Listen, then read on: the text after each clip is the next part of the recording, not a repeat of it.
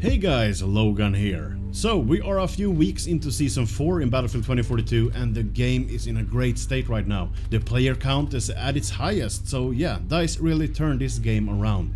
PlayStation recently reported a 578% increase of players, much because of the Battlefield 2042 being available to PlayStation Plus members in March, and Steam had a few days of free-to-play last week with a sale of 70% on the game, so I highly recommend you go get this game right now.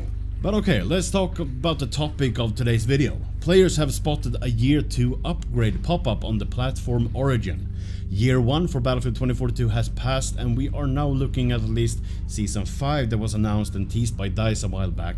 Season 5 will bring a new map that we got a sneak peek of right here and uh, we know that we're getting new weapons and gadgets as well. No new specialists though, we got several of those to choose from so this will allow the developers to focus on other things, which is good.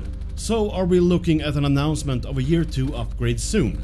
Maybe not soon, but perhaps alongside Season 5 launch we're getting some official news about this. The players that found this did some digging, trying to find out if the message on Origin is real or not. A lot of placeholder location and descriptions are found, but the interesting thing is that the Battlefield 2042 Year 2 upgrade phrase shows up all over the place, and the info is not old, the data in Origin was updated on March 17. So yeah, it looks like Battlefield 2042 is getting a year 2, and that's amazing, but of course we have to wait for more official news on this before we celebrate too much.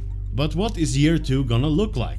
I would love to hear your thoughts on this in the comments below, but me personally would love to see at least 4 more seasons during year 2, featuring the same amount of content as previous seasons. You know, a new map or maybe 2 now when we don't have any new specialists coming, they can focus on 2 maps maybe.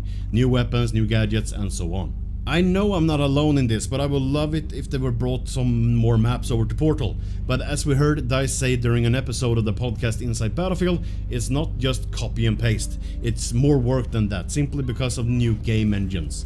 But as I said, what do you want to see after Season 5 in a possible Year 2 upgrade?